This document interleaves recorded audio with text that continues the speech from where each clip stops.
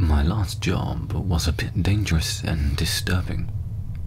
But I got a rather hefty payment for just the first shift, and then a promotion to work as security on a night train. My last job was working as a night guard for my local subway station. If you want to know more about my previous job, listen to my last series. Although it's not necessary to listen to the last series, it will definitely help you understand my situation better. This morning, I got a text from my employer. I only know them as the subway management team, asking me to come to my local station for my first shift on the train. I made my way to the subway station on time at 9 pm, the train I would be riding on for the next eight hours. It was a very modern train with automatic doors and was six compartments long. My security compartment would be the second one from the front, as I was told in my text. As I got on the train, I noticed that each compartment, except for the special compartments, had a main lobby type area with four seats on either side, facing the window, and a travel door that linked it to the next compartment on the left side from the entrance door. On the right were either a few steps leading up to the upper seating area that was similar to the interior of the bus, and a few steps leading down to an exactly identical seating area. If you need help visualizing the train compartments, search up Sydney trains and you'll get what I mean. The security compartment was very different to the main ones.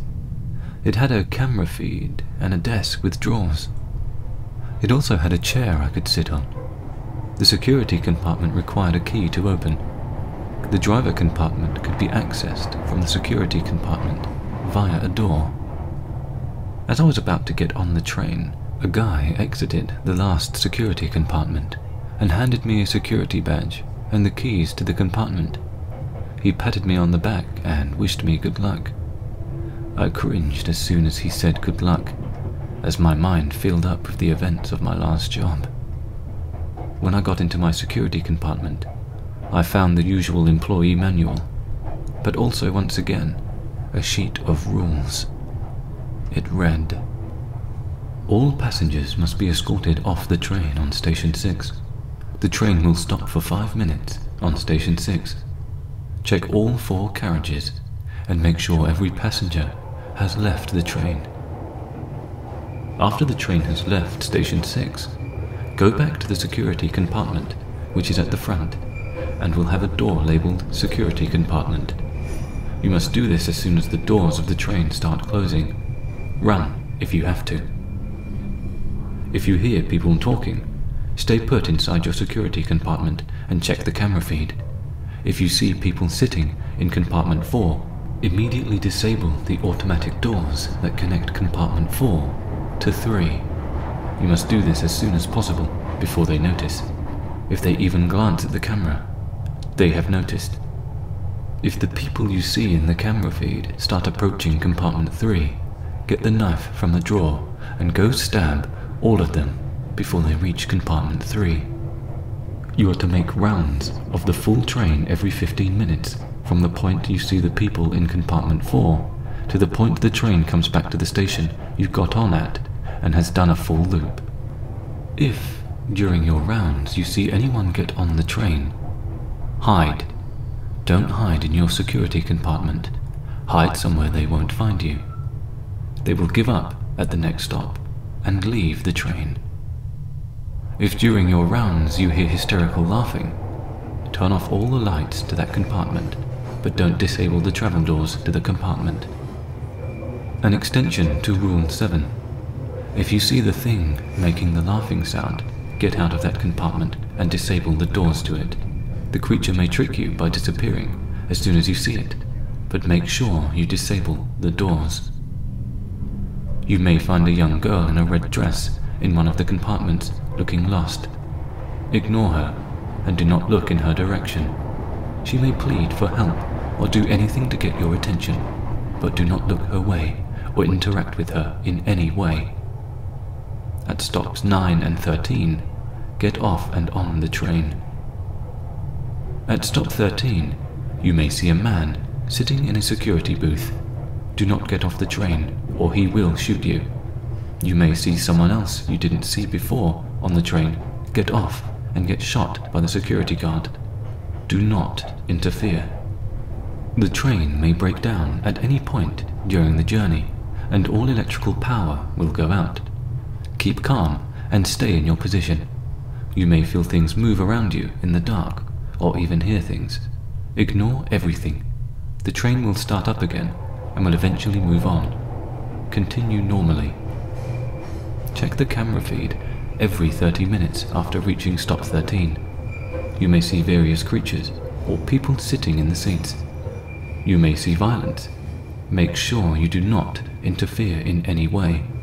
At the same time, you may have to do a round of the train. Keep doing your round and still go through that compartment. The creatures can only be seen on the camera feed. If you notice that you are stopping at the same stop over and over again, go to compartment 4 and sit on every back seat. Wait until the stops continue and then you can leave the seat. On one of your rounds, you may find the train seats bloody. Use the cleaning cloth in the drawer to clean the seats.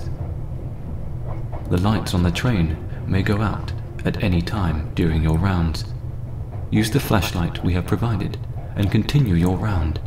If you see anything in the dark, run back to your security compartment and disable the doors to that compartment. You can enable the doors once the light comes back on.